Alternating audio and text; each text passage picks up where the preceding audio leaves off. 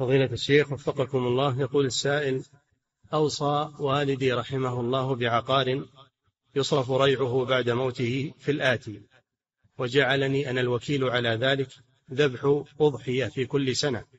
وسؤالي هل يجوز أن آكل من هذه الأضحية كما جرت العادة بذلك قبل موته؟ الله الوصايا تعرض على القضاة أخذ الوصية للقاضي ويعرضها عليهم يشاوره فيما يشكل عليه. نعم.